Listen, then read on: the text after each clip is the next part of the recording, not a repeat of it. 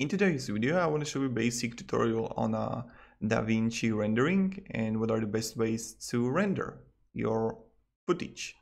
First of all, I'm making like five to seven videos per day on YouTube and I use it a lot. So I want to show you how is it in the basic and how we can improve it. First, let's start with YouTube and go always with 1080. You don't really need 2160 because honestly guys no one is watching that. Everyone is clicking on a 720 and 1080 when we got that next thing is to format. I would recommend go for the mp4 only because i prefer it. Codec is fine. Resolution the same 1900 it's all right. Frame rate i like it doesn't have such a big difference between between 24 and 30 so we can also stay on 24 and now quality.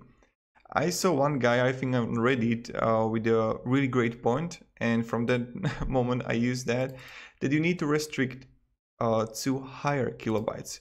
Only because youtube uh, decompress your quality videos like facebook like if you would like to upload this video on facebook it will be destroyed like the quality would be so bad. So you had to put it on like 3 30,000 or even 40,000 I would prefer.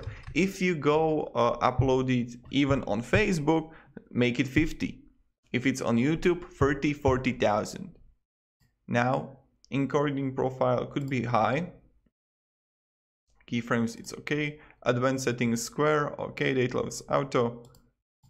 This is okay and now let's move to audio.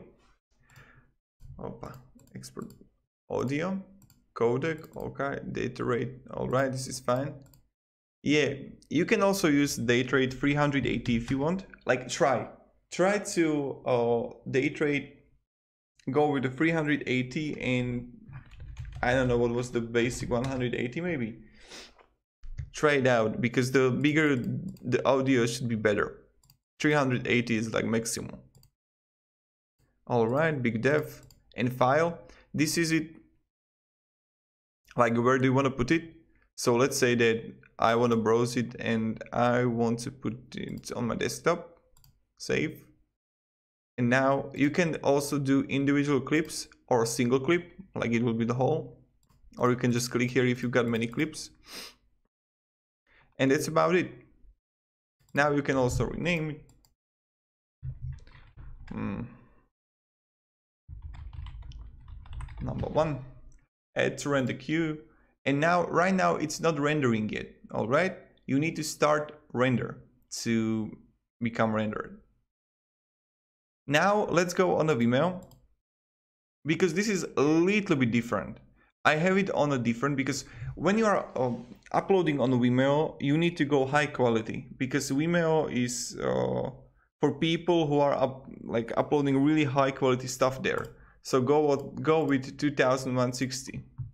With video again MP4 Ultra HD. This is really important also. Go with the Ultra HD boy. Restrict it. Go with the 40,000. And everything is the same. Now, but even more, let's go even further. What if you want to make the video so great that you want it to be epic.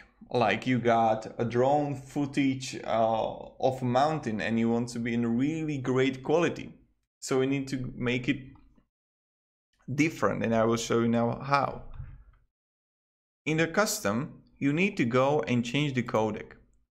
I would recommend to go pro CineForm and go with the u 10 bit or even 16 it's also up to you but I'm using 10 bit. Now Ultra HD, it's up to like the resolution you want to do. Frame rate, I would go with a 30. Also try it out, like it's file name. Let's go, add to render queue, and you can see it here. Then you would click just start render, and voila, you got it. And you can create as many videos as you desire. Hope you enjoyed this video. If you did, see you in the next one And yep, you can subscribe if you want, but it's completely up to you, my friends. Goodbye.